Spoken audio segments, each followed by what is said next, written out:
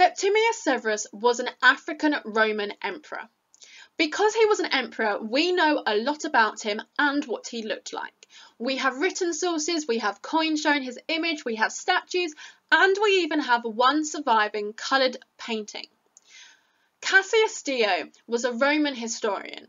He wrote the most reliable account of Severus's life in his Roman history book.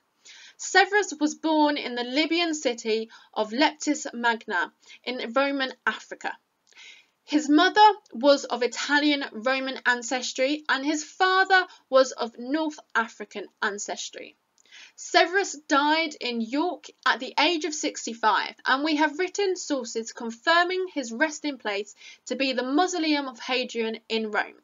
However, his remains have since been lost, which means that we cannot use archaeological techniques on his remains to find out more about him. Thousands of coins do survive from the Roman period, which picture the Emperor Severus. We know it that it is him on the coins because they have his name written on them in Latin. He is pictured to have tight curly hair and a beard. The image on the coins is very similar to how he is shown in statues that survive of him from the Roman period. He is often discussed as the first black emperor.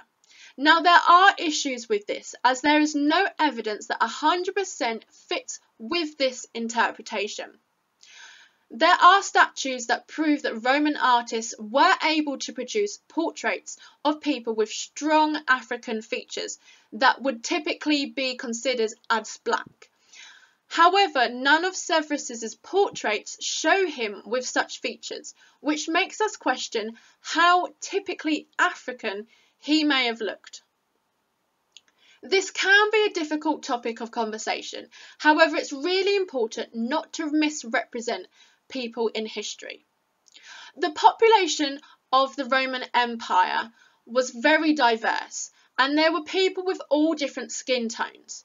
The Severan Tondo is the only surviving Roman painting which shows Severus, his wife, and his two sons, although Geta's face has since been erased.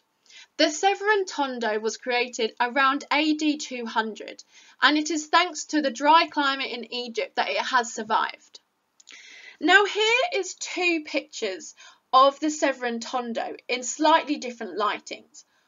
But it's clear to see that Severus, who is pictured here in the top right with the gold crown, that he has been painted with a darker skin tone to the rest of his family members. Now this would make sense considering his ancestry. From this painting, some historians have described him as a person of colour with a similar skin tone to the present day Libyans. So Emperor Septimius Severus was born on the African continent this means that he was African.